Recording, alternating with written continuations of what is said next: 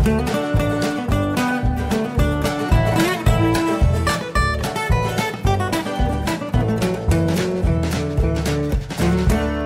und herzlich willkommen zu Jörn Schars feinem Podcast Episode 390. Ich bin Jörn Schaar und ihr seid es nicht. In meinen Notizen steht jetzt die erste Runde des Jahres wie war es. Ich habe Golf gespielt. Letztes Wochenende war ich schon auf dem Golfplatz. Äh, ja, der ist im Winterbetrieb. Das heißt, es ist alles matschig. Winterbetrieb heißt auch, dass so ein, ja, der Golfplatz dann in einem anderen Zustand ist, in einem anderen Spielzustand, weil man nämlich sagt, äh, im Winterhalbjahr ist der Boden super nass und entsprechend empfindlich ist die Grassode. Das heißt, äh, die Abschlaghügel sind gesperrt, die Grüns sind gesperrt und man schlägt dann ja quasi von mitten auf dem Platz ab. Da gibt es dann immer so ein, wird ein Bereich abgesteckt, wo das geht. Die Grüns werden, wie gesagt, gar nicht angespielt. Da wird dann auf dem Fairway eine Fläche ja so ein bisschen gemäht, dass es grün ähnlich ist. Das ist es natürlich nicht. Das ist natürlich äh, holprig und uneben.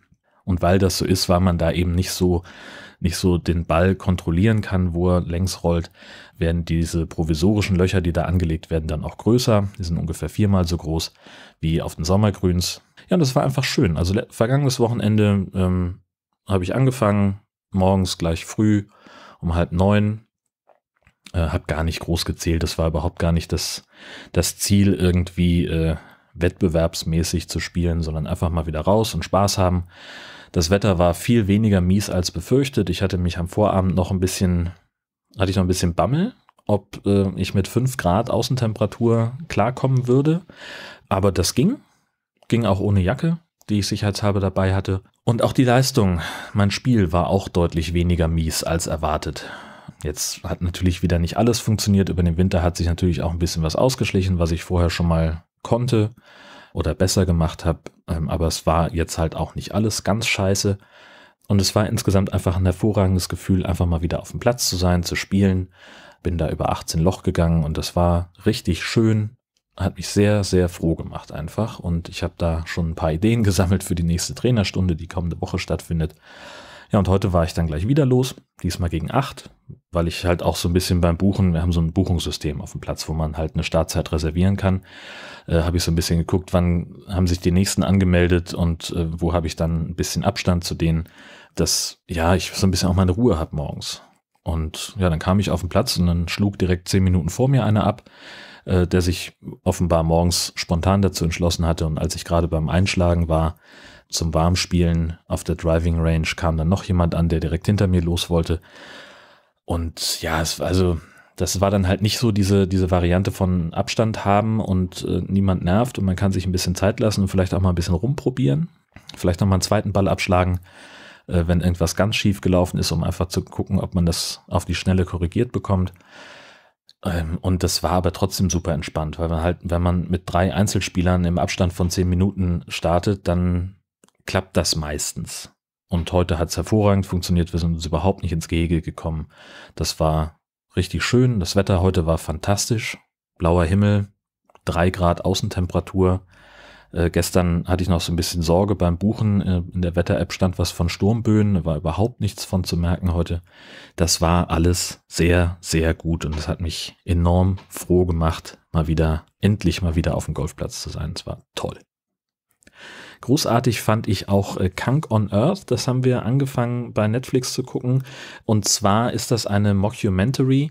Diane Morgan kennt man ja noch als die Abteilungsleiterin von der IT Crowd. Und die spielt Philomena Kank, die als Reporterin eine, ja, die Geschichte der, der, der Menschheit, der Kultur erzählen soll. Und die aber halt einfach, also die so ein, so ein distinguierten BBC-Style irgendwie machen soll, das aber nicht hinkriegt, weil die halt einfach nicht distinguiert ist. So, und dann sitzt sie, dann erklärt sie halt irgendwas äh, und, und das, manche Sachen davon, also die haben halt auch wirklich einen guten Kern, wie sie zum Beispiel erklärt, wie irgendwann die Perspektive in Gemälden erfunden worden ist und dass vorher äh, Gemälde ja so, äh, so komisch zusammengequetscht aussahen und man nicht so richtig wusste, wie das alles sein soll und die Perspektive, die, die äh, Größenverhältnisse stimmten alle nicht, bla bla bla. Ähm, so das, das, hab, das fand ich halt gut. Oder das ist da halt auch wirklich, äh, das hat Hand und Fuß und dann unterhält sie sich auch mit, mit äh, Philosophen und Geschichtsprofessorinnen und, und Leuten, die wirklich Ahnung von ihrem Fach haben. Und stellt denen dann aber so bescheuerte Fragen, dass man halt davor sagt, das kannst du doch nicht machen. so. Also, dass sie halt sagt, das ist wie mit meinem Ex-Freund Paul, der auch irgendwie dann völlig besoffen aus dem Pub rausgeflogen ist. War das so ähnlich? Und was würden Sie Paul jetzt sagen? Ihre Gegenüber, die schaffen es aber dann, den Kern der Frage zu erkennen und darauf zu antworten und diese ganze Drumherum einfach sein zu lassen. Und ab und zu sieht man halt, wie manche Leute einfach komplett irritiert sind. Das finde ich, also es ist wirklich, wirklich witzig und schön gemacht und es ist eine echte Empfehlung äh, bei Netflix, Kunk on Earth. Hm, ansonsten habe ich äh, sehr viel vegane Lebensmittel ausprobiert in letzter Zeit. Zum Beispiel veganen Brissot. Das ist wirklich geiles Zeug, kann ich sehr empfehlen, weil es halt echt schmeckt wie das Original. Ich habe ganz oft, gerade wenn es um so Käsesachen geht und so ein Sheet, habe ich echt Schwierigkeiten, das zu ersetzen. Weil ich halt manchmal denke, Mensch, irgendwie so ne, Fleischkonsum reduzieren schön und gut, aber Milchprodukte konsumieren ist halt die kleine Schwester des Fleischkonsums. Das ist so. Und deswegen möchte ich da eigentlich auch raus, soweit es eben möglich ist. Und bei Käse bin ich echt picky, was das angeht. Also Käse ist echt schwer zu ersetzen. Äh, und zumindest beim Frischkäse scheint es jetzt gelungen zu sein. Der vegane Bressot äh, schmeckt exakt so wie das Original. Da gibt es auch überhaupt nichts dran zu deuteln. Das finde ich richtig gut, das Zeug. Es ist ein bisschen äh, insofern anders, äh, Im Vergleich zum Originalprodukt ist es ein bisschen schaumiger und die Packungsgröße ist ein bisschen anders. Das sind dann 140 Gramm und der normale Bressot wird mit 150 verkauft. Die sind aber ungefähr gleich groß. Der vegane ist auch auf den Kilopreis gerechnet 2 Euro teurer. Äh, Finde ich aber trotzdem immer noch komplett vertretbar. Ähm, und wie gesagt, also ja, es ist rechnerisch ein kleines bisschen teurer. Aber meine Güte, man tut ja was Gutes damit. Und es schmeckt auch noch. Also man verzichtet dabei auf nichts. Finde ich persönlich schon mal relativ wichtig. Äh, was ich auch ausprobiert habe, ist die vegane Salami von Billy Green. Und das war spannend. Ich mache das dann gerne so, wenn ich gerade so, so Aufschnittsachen ausprobiere, dass ich dann mal eine, eine Scheibe einfach so äh, verschnabuliere, so wie ich es eben auch mit, mit echter Wurst machen würde. Und das war überhaupt kein gutes Mundgefühl äh, und schmeckte auch überhaupt nicht gut. Ähm, also na, es, es, schmeckte schon okay, aber das wurde halt von einem mittelmäßigen Mundgefühl ähm, ja so, so übertüncht. Und der lustige Witz ist aber, wenn man das auf, auf zwei Scheiben Toast legt, das Zeug, und dann noch so ein bisschen irgendwas dazu hat. Also ich nehme zum Beispiel bei Salami gerne Senf oder auch mal eine so eine, so eine Grillsoße ja, und tu das dann dazu dann schmeckt das wirklich nach Salami und dann ist es auch gut. Also einzeln verknuspern ist nicht so gut, aber mit, ja, so, so wie sie halt gedacht ist, sie auf irgendwas drauflegen. Wahrscheinlich funktioniert es auch mit Pizza. Das müsste ich nochmal ausprobieren. Ähm, ja, aber das war schon mal sehr, sehr gut. Und dann gab es auch noch den veganen Schinkenspicker von Rügenwalder. Ich sage es immer wieder gern, weil ich es A witzig finde und B, weil es stimmt vegane Sachen von Rügenwalder zu kaufen, es ist wie Ökostrom von RWE zu bestellen. Das ist schwierig, weil man damit eben auch äh, die Fleischindustrie querfinanziert. Nichtsdestotrotz ist es halt auch so, A, Rügenwalder macht inzwischen mehr Umsatz mit den veganen Produkten und B, ist es halt eins, also definitiv sind deren Produkte sind bisher die besten Ersatzprodukte, die ich kenne. Und dann sind sie mir auch noch lieber als die von Nestle. So. Ähm, ja, der Schinkenspicker, der ist also, ja, ist einfach eine Wucht. Es gibt eigentlich kein Argument mehr, dieses Produkt in Fleisch zu kaufen. Ja, damit macht man definitiv gar nicht falsch. Was ich äh, dann auch noch ausprobiert habe, so im Vorbeigehen mitgeschnappt, den veganen Mühlensnack, auch von Rügenwalder. Das soll so eine Art Beefy-Ersatz sein. Und da muss man dann wirklich sagen, okay, das ist dann ein eigenes Produkt. Ja, das ist kein Ersatz für irgendwas, sondern das ist ein eigenständiges Lebensmittel, dann geht's. Aber wenn man sowas erwartet wie eine Beefy, wird man echt enttäuscht. Es schmeckt nicht schlecht, ähm, das Mundgefühl ist aber sehr, sehr ungewohnt. Davon abbeißt, dann ist das so ein bisschen bröselig, fast etwas trocken. Und darauf muss man gefasst sein. Also der erste Bissen hat mich fast ein bisschen abgestoßen, der letzte ging dann. äh, ja, das ist also für mal so dabei haben, glaube ich, äh, ist das gar nicht verkehrt, um mal schnell irgendwie äh, was zu essen äh, zu haben. Äh, das kann ich mir durchaus vorstellen, dass das funktionieren kann. Dann habe ich noch eine Podcast-Empfehlung, nämlich Geschichten zwischen den Meeren. Das ist eine Produktion von, von zwei Jungs. Na? Hallo! Die Glocken läuten, Herr Schabe. Sollen Sie nicht in Gottesdienst? Ich habe keine Zeit, ich muss hier Podcast aufnehmen. Die Leute warten schon. Podcast? Ja. Hast du noch gar nicht angefangen? Ne, ich bin ja schon mittendrin. Na, der Mann doch. Ja. Mua. Du musst jetzt auch mal los. Die Glocken läuten ja immer noch, schon seit sieben Minuten. Nee, nee, nee, nee. Ja, ja, ja. 28 habt ihr angefangen. Ist wohl wahr. Herrje. Also, äh, Geschichten zwischen den Meeren ist ein Podcast von zwei Typen aus Eckernförde und die machen es so, dass sie äh, landesgeschichtliche ähm, Sachen sich gegenseitig erzählen. Einer bereitet das vor, der andere weiß nicht, worum es geht und der wird halt äh, damit dann, ja, der, der lernt dann was Neues. Und in diesem Fall, in der aktuellen Episode, ging es um Rungholt. Rungholt ist äh, früher mal eine Stadt gewesen, die sehr wohlhabend gewesen sein soll äh, und, und die sich sehr viele Legenden ranken. Ähm, es gibt Leute, die Rungholt als das Atlantis Nordfrieslands bezeichnen, denn Rungholt ist 1362 in einer großen Sturmflut der Groten Manndränke äh, untergegangen mit Mann und Maus. Äh, Darüber gibt es Lieder und Sagen und Gedichte. Und die beiden erzählen halt das, was man heute über Rungholt weiß, weil es vor etwas über 100 Jahren einen äh, Heimatforscher gab, der gesagt hat, da war doch mal was und hier gibt es eine historische Karte, da gucken wir mal. Äh, und der einfach mit dem Pferdewagen ins Watt gefahren ist und da äh, ganz viel gefunden hat an Überresten, das auch dokumentiert hat. Ja, es ist halt schwierig zu untersuchen archäologisch, weil es halt im Watt ein Loch graben, das dauert. Man hat aber nicht viel Zeit und das Meer schwemmt es dann gleich wieder zu. Es gibt ein paar Erkenntnisse darüber, auch relativ detailliert sind, aber halt noch nicht wahnsinnig viel. Und es gibt eben diese ganzen Geschichten. Was ich gelernt habe bei dieser Episode, also vieles davon wusste ich tatsächlich schon, manches habe ich neu gelernt. Äh, Eine Erkenntnis aus dieser Episode war, dass Menschen halt schon immer Kacke waren und schon immer nicht über die Konsequenzen ihres Handelns nachgedacht haben. Was ich damit meine und äh, was die Rungholter selbst dazu beigetragen haben, dass ihre Stadt untergegangen ist, das hört ihr in der Episode von Geschichten zwischen den Meeren über Rungholt. Die Links gibt's in den Show Notes. Ja, der Hund mischt sich auch ein mit seinem Getrappel auf dem Parkett, ne? Das ist dein Ding. Und was ich bei der Gelegenheit dann auch noch sagen wollte, ist vielen Dank an Tobias, der mir nämlich einen Faktopus geschickt hat. Und das kam so, ich hatte irgendwann beim Mastodon geschrieben, dass ich mit zu wenig Mittelfingern zur Welt gekommen bin und dass ich ein paar extra gebrauchen könnte. Und äh, das hat er sich zu Herzen genommen und hat sich hingesetzt und was am 3D-Drucker fabriziert, äh, nämlich einen Oktopus, der an mehreren seinen Armen ausgereckte Mittelfinger hochhält.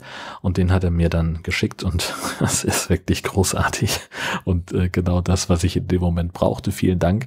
Äh, darüber habe ich mich wahnsinnig gefreut. Äh, Was ihr schon äh, mitbekommen habt, wir haben eine neue Episode Camping Caravan Podcast veröffentlicht. Wahrscheinlich habt ihr die auch schon durchgehört. Darin haben wir Dotti eingeladen, die ihr vom Nord-Süd-Gefälle kennt, und äh, Daniel, den Fahrtensprecher. Denn die beiden machen gerne mal Urlaub in ihren Autos. Und das war unser Thema, Minicamping. Mit denen haben wir darüber gesprochen. Das war, weiß gar nicht, etwas über eine Stunde. Ähm, Ein sehr, sehr nettes Gespräch, ein sehr angenehmes Gespräch. Es wurde gekichert und auch das ist eben eine, eine dringende Hörempfehlung. Dann ist selbstverständlich auch eine neue Episode vom Nord-Süd-Gefälle veröffentlicht. Am 15. haben wir die rausgehauen und wir hatten da diesmal gar nicht so wahnsinnig viele Themen, eigentlich nur eins auf der Liste und haben deswegen einfach so drauf losgequatscht und äh, Dotti hat mich ein bisschen ausgequetscht über das Leben mit Gastini. Wir haben über Gartenzaun, Gestaltung und Privatsphäre im eigenen Garten gesprochen und so weiter und so fort. Auch fast anderthalb Stunden. Ja, und jetzt gleich, äh, heute Nachmittag, äh, nehmen Benny und ich die neue Episode vom High Alarm Podcast auf. Die erscheint dann morgen früh am 20. gegen halb sieben, glaube ich, machen wir immer damit ihr schon gleich beim Frühstück die frische Episode auf dem Teller habt. Und diesmal besprechen wir The Shallows mit Blake Lively.